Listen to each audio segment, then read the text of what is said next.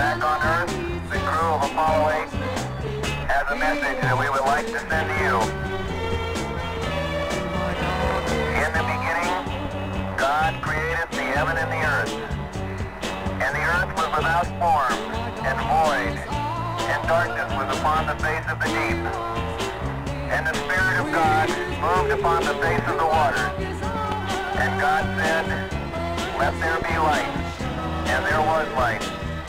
And God saw the light, that it was good. And God divided the light from the darkness.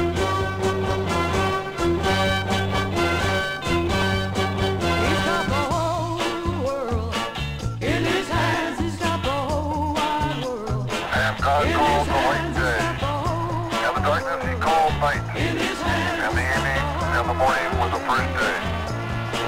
And God said, Let there be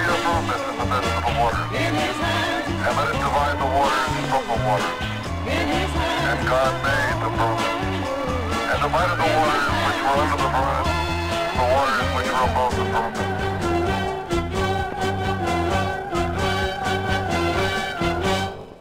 Even to the end of eternity.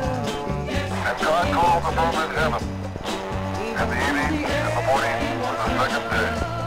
And God said, Let the waters under the heaven be gathered together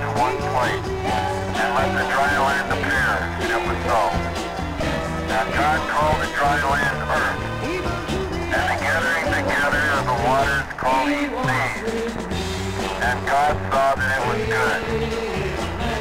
And from the crew of Apollo 8, we close with good night, good luck,